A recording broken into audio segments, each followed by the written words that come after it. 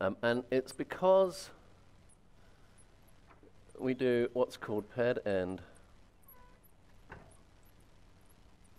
uh, sequencing, which is the way that we actually generate the DNA sequences. Way back in earlier times, I talked about different sequencing technologies. And this particular approach that I'm going to tell you about is really kind of how we do paired end sequencing with Illumina sequencing technology. So basically, the approach that you take is we, we have our DNA, and using a variety of different techniques, there's, there's different ways you can do this. There's both physical ways um, or biological ways. And so, uh, what we're going to do is we're going to break the DNA into little fragments, and we're going to separate them based on size depending on exactly how you break the DNA, you can um, really fine tune exactly what your average size of, of those strands are. So normally we'll break them down to be, uh, so the average size maybe is 300 base pairs. Okay. Then in the sequencing process, what we do is we take those 300 base pair sequences and we add two adapters, one on each end, to those sequences. And the adapters are different, and in Illumina speak, they're usually called A and B. And there's a, a step where you can purify sequences that have A's on one end and B's on the other. So we get all the sequences that have an A and then a B, different adapters on different ends, okay? Now, on the Illumina sequencing platform, we use a glass slide, which is kind of like a microscope slide. Let's pretend. And on that slide, we have sequences that are complementary to A. And they've been fixed to the glass slide. We also have sequences that are complementary to the B and they're also fixed to the glass slide. We have our solution of DNA where we've labeled them with A and B. We have our glass slide where we've got A and B. Now basically what we do is we put the DNA onto the glass slide so that we have the A sequence on our sequence. Here's our DNA sequence, our fragment that we're going to sequence, and the A sequence that's complementary to it that's then stuck to the glass slide. Remember that on the end of this sequence there's a B, and over here we have a sequence that's complementary to B. We can now do a PCR reaction where we make a copy of the DNA. So using what's called PCR, polymerase chain reaction, we just make a copy of the DNA, and of course that makes a copy of this B region. With DNA, because it's double-stranded, you can just heat the DNA up, and that forces the strands to, to separate by just heating up to about 70 degrees. And as that happens, you then have the DNA. So here's our A piece and our A primer.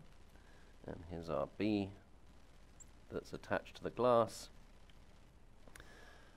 Through this PCR and this amplification process, we actually end up with a little bridge forming where we have the B on the glass binding to the B on the DNA and the A on the glass binding to the A on the DNA. Okay? And we get a little bridge like this. And in fact, because in one little area we have lots and lots of these A's and lots and lots of these B's, we end up with lots and lots of these bridges just in this little area. Okay?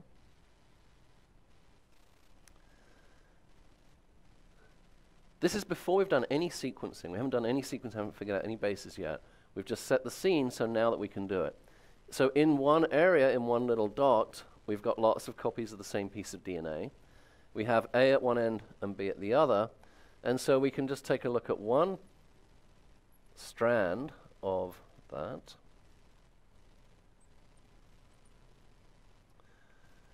So here's our DNA. making a little bridge.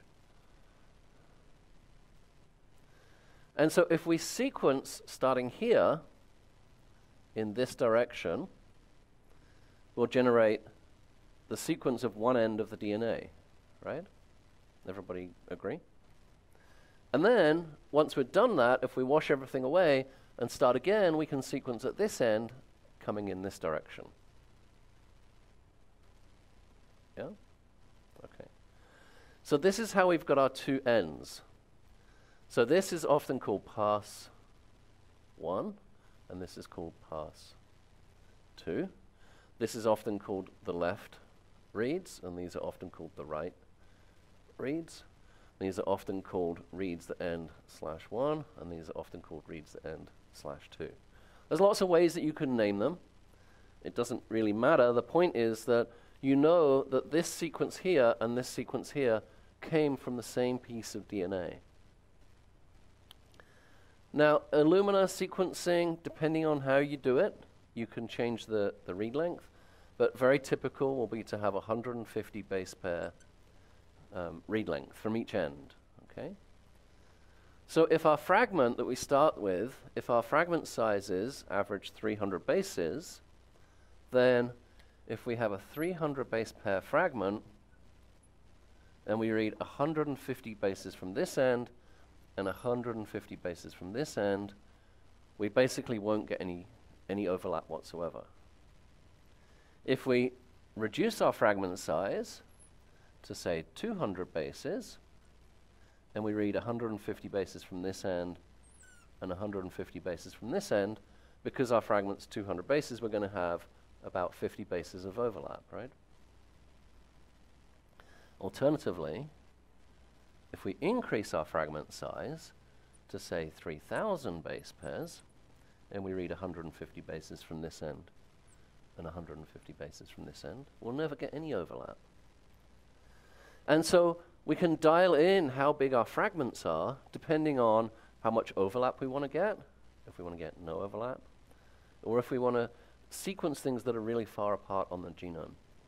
This, having close um, overlaps, helps with assembly because you then can get longer pieces of DNA much easier. But this helps with assembly because if you have repetitive elements, like a 1.6 kb RNA gene that's lying in the middle, you've got reads that flank it, and so you can put things together better.